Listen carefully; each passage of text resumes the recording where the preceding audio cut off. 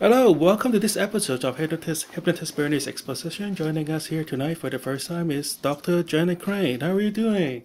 Good. Thank you so much for having me. Perfect. We are live here at the National Guild of Hypnotists Convention 2016, and we have thousands of hypnotists walking around here. Uh, we're having a great weekend so far, and uh, Dr. Crain, Crain, Dr. Crain. Yes. Okay, and uh, and your expertise is in tree reading, right? Yes. So, what is tree reading? Tree reading is is when you draw a tree and you draw that tree visually from your subconscious mind and your feeling. And when you look at the tree, you can interpret the tree and then you could get insight into the person's personality. Just like the FBI and law enforcement use handwriting analysis to get information about your personality, we can do the same thing with trees. And the benefit is, is that when you use hypnosis, you have real insight into the person. So it's a really, really fun time for both the client and the hypnotist. So in order for you to get an idea of what tree reading is, because most people have never heard of it, I have Joan volunteering to give me a sample of. That's great. tree. So, so in in short, draw a tree now. in short, uh, so you're just asking your volunteer to draw a tree, Correct. and then you are going to use your skill Yes, a, I your training use to. an eight-step technique that I've developed to, Okay. to interpret the tree because there's no guessing. This is not psychic reading. I can't Okay. tell you if you're going to win a million dollars or not. Okay, It's only what's in the tree, and I use eight steps to do that. that's great. So, so it's kind of like, can I use the analogy of like a handwriting analysis? Yes. Some people say that handwriting analysis shows you things on the left side of the brain, and tree reading shows you visual from the right side of the brain. But either Okay. way, it's communicating and revealing insight about the person. And you're using like the way they, they draw or. Well, I'm going to show you as okay, soon as perfect. she's done. All right. That's perfect. So I just want to show our guests the tree. Okay. Sure. Perfect. So Joan, you are a very nice person, right? When people say, "Can you help me?" you say yes automatically. You're an automatic yes person. most of the time. Most of the time you are. Some of the time you're a big worrier, huh? Yeah. Just know that worry is not so good. But if you're going to worry, you like to worry, so worry. But just limit your time worrying. And you can worry big, like what what's going to happen when you win a million dollars? It does, doesn't only have to be what if terrible. It could be what if amazing. So your life is like split in two different directions, right? And you don't know which way to choose right now. Is this roots? Yes. So family is very, very important to you, and you are very sensitive. And you had a big, big life-changing event in the middle of your life, right? Something big happened you. Don't tell us what it is on the air. This is the deal. It happened to you, and you dealt with it. But you have to let it go. Any guilt or shame that remains from it. If you, if some friend told you about this event, you would have said, "Oh, it's so long ago. Get over it." But for some reason, for you, you just can't let it go. Remember, halfway through your life, you were a younger adult. You didn't have the knowledge you have now. Now, with your new knowledge, you'd handle it differently. But it's bothering you. You have to just think of a way to forgive yourself the way you would advise somebody else to forgive themselves. Right? Yep, That's true. So, but the good news is you love beautiful things, right? Absolutely. And you are a great friend because anyone, you're the go to person for so many people. That's right, huh? And you're very strong. You've had a lot of life before you, a lot of emotional things that kind of really upset you in the past. Absolutely. But you're strong now. Just tell me about the middle of your life. Like, what are your goals for the future? Well, actually, I'm in my 60s. So my goal is to uh, do my creative, what I creatively feel I was born to do. Well, this tree shows me that your mind is very creative. So you're definitely heading in the right way. I think what the big thing for you would be to make sure that you could get help. You're not getting a lot of support for what you feel like right now. And I think what you have to do is really ask more specifically. Don't be afraid to ask. People want to help you. It's their gift to you. But you have you have all this. Look at all this creative energy floating around. If you would just ask for a little create, creative help, you would find it. However, make sure you go to the right person. If you go to the wrong person, it's not going to help you. You need to go to the right person. I've I've made that mistake in the past, so I'm I'm a little careful about who I uh, you know open myself, my dreams, etc. to. Right. But if you find the right person and ask them, you will be a superstar. Thank, Thank you. you. That's great. And thank you, Joan, for volunteering for us. And we have a next volunteer coming in to uh, show us um, her tree. The tree was already drawn? Okay, perfect. So this is the next tree. Maybe you can like spend some time to tell us how did you arrive to those uh, the Okay, so let me use this tree to explain how I arrived. The Okay. first thing I look at is location. Where the tree is centered on on this in this box. The box is the boundaries. Now, the one thing I want you to notice is that this is a specific type of tree. This is an apple tree, which means that this person likes everything to be very productive.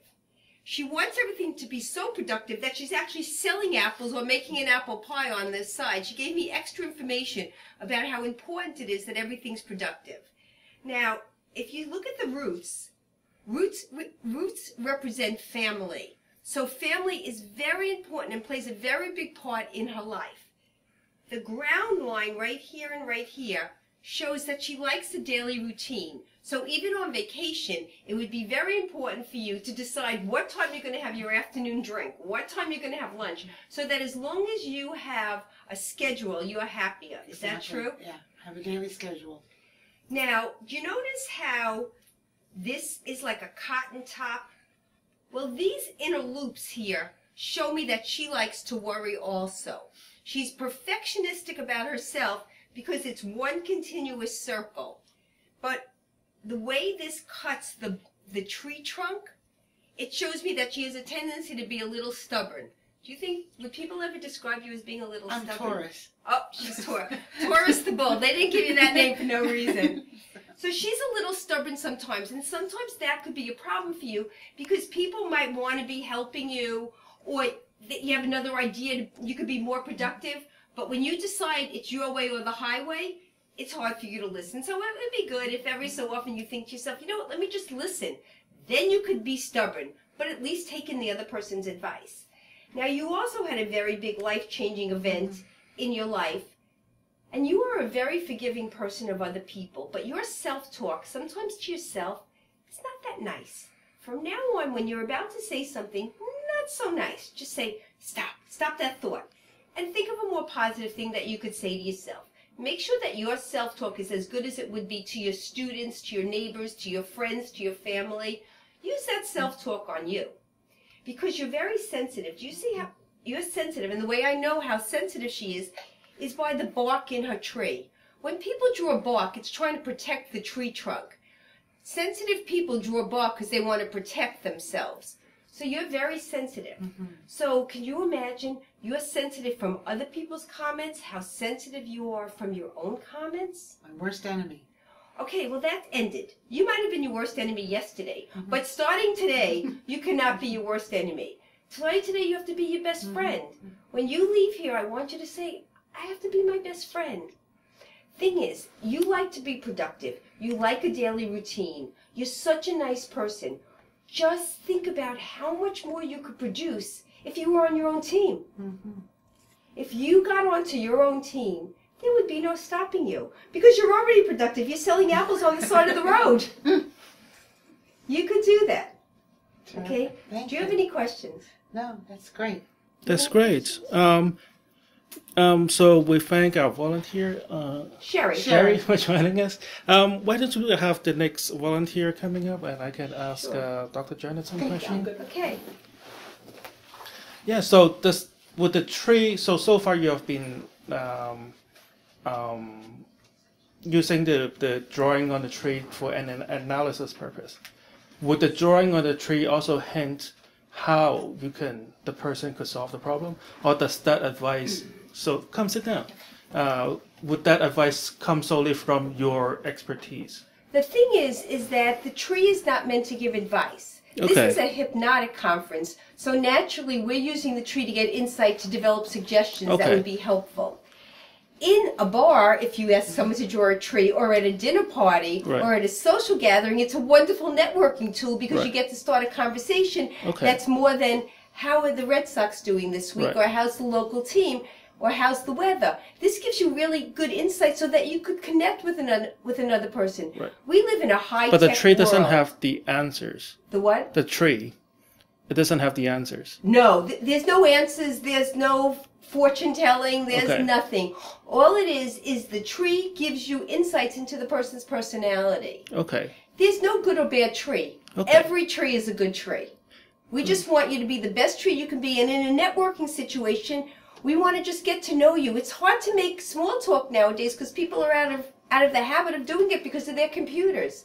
So this gives you the opportunity to start a great, meaningful conversation in less than two minutes. Mm, And there's no guessing because you could just look it up. Perfect. So uh, uh, we have a next volunteer, and your name is Amber. Amber. All right.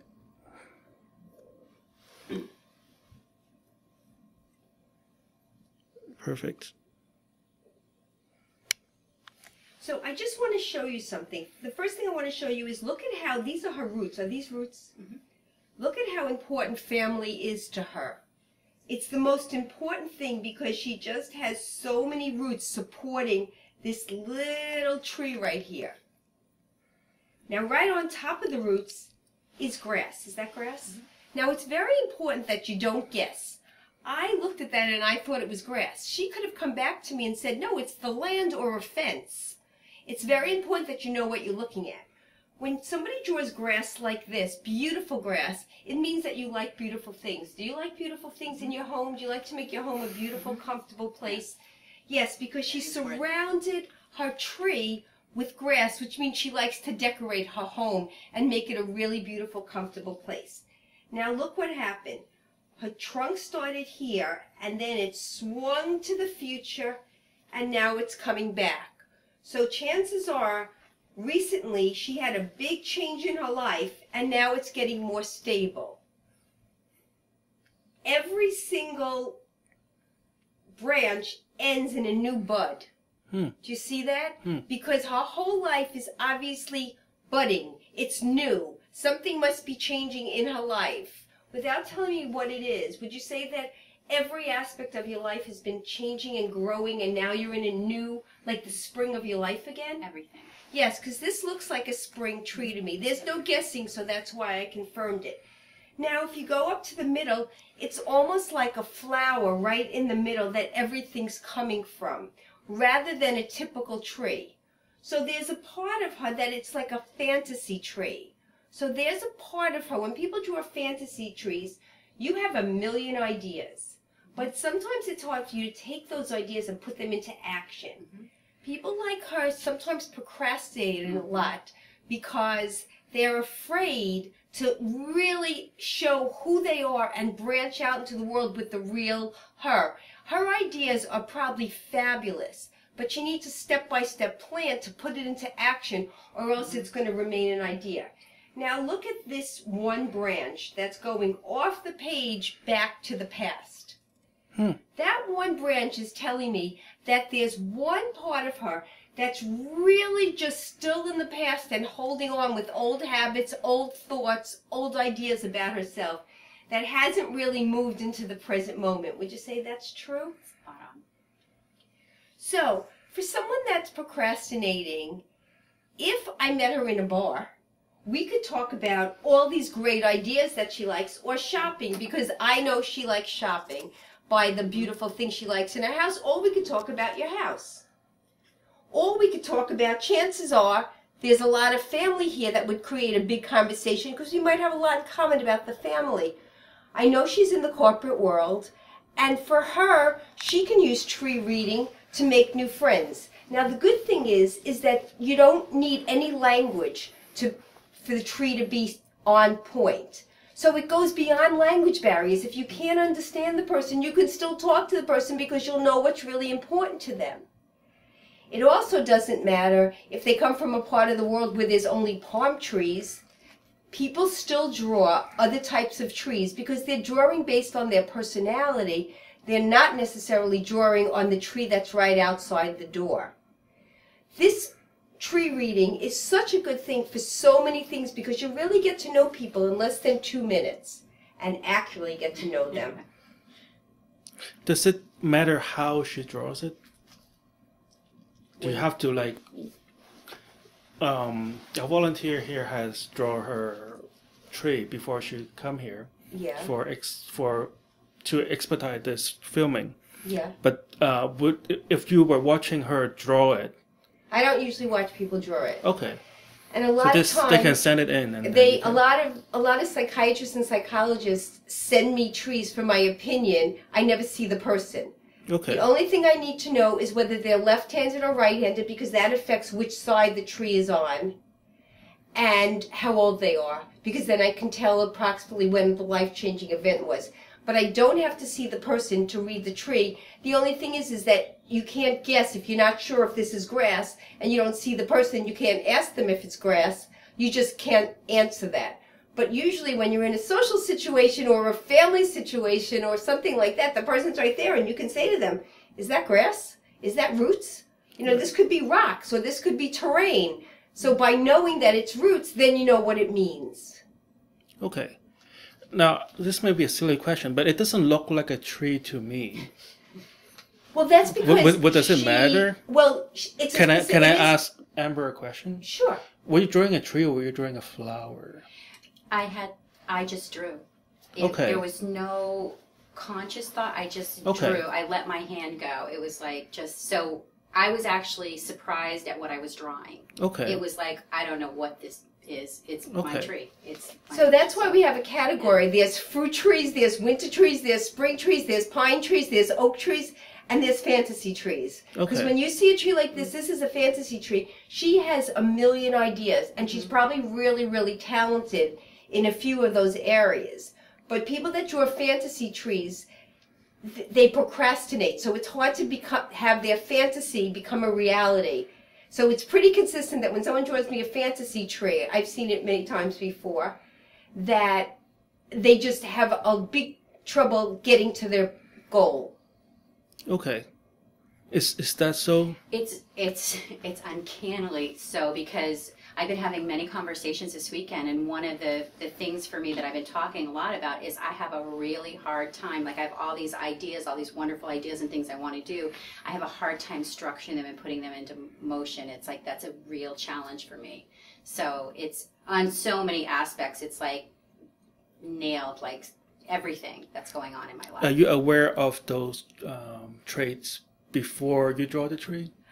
Uh, yes, at some levels, but I think hearing it and having that validated because it's coming out in that unconscious way that it's it's very ingrained. So it's um, it's enlightening, and I think just to bring it out into the open for me to really be able to take a deeper look at it. Yeah. And I don't really know her very well. Right. And so all the only instruction that I gave her is draw a tree in the box. Okay. Because I, I met her at the bar and she had drawn a tree. I said, draw me a tree. I came back and there was no box. Okay. So I need to read it in relationship to the box. So she drew a very similar tree on a cocktail napkin. Right.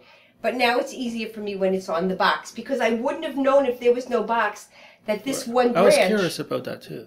Amber, can I ask you a question? Um, is there any reason why you draw that line outside of the box? Nope. I was I was When when was like when I did was- when did you draw that line? Is it near the beginning of drawing the line? No, or it was towards the end, and it was just the a pull to do it. It was just like I, I'm not done. I need this. To, I need to do this. Okay. It was it was just a, a energetic feeling like I this this needs to be here. And that pull, there is something in her life that's pulling her back, not letting her go to the future. That's just the reality of it, because that's why it's there. And it's a strong pull because it's outside of the box. Right. Oh. So it's it is a strong pull. So that's why I need the box. But the thing is, she drew the tree, so it's her thoughts, her beliefs. It's her. I had nothing to do with it. I just walked Right. in. The tree was done. I gave her no instructions, and I wasn't standing over her while she drew the tree, so that you could say my energy influenced her or any part of me influenced her. I wasn't even there. Great. Um, so, if uh, so, so where do we find uh, Dr. Janet? You can find me on my website, janetcrain.com. Perfect. So, like, what? So, people do they see you live, or do they send in their uh, the tree, and then you, you mail them a? An Well, if they want me to just like read their tree, they could go to tree to my Facebook page, tree reading, and post it on there, and then I read trees on every week. I read a few trees on my Facebook page. Dr. Janet, you really need your own show. You need, people could like email you, and then each week and you Email can me, and I yeah, can read the read the um, yeah, read the trees on the air. or like five minute reading. You know. Yep, Yeah, five minute perfect. readings on I, the I love how, how quick and simple and, and direct and to the point as and we were able to go through three volunteers within like a 20 minute sort of span. to me, the most interesting thing is it's very accurate. There's no guessing, and it's so accurate that it really touches the person immediately because it's their tree and their thoughts, and I don't have to know what the issues are. I don't have to know who's pulling her back or what's pulling her back. I don't have to know, but now she knows, and she could do something about it. I don't have to do anything. She knows. Once you bring it into awareness, you can deal with it. Great. Uh, so we're about to run out of time, and uh, thank you, uh, Dr. Janet, to be in our show tonight. And we want to thank all the volunteers for bravely uh, coming onto our channel and our show, and uh, share a part of them that is they don't normally share. Uh, so this is Hypnotist Bernie. Join us next week, CCTV Channel Nine, Cambridge.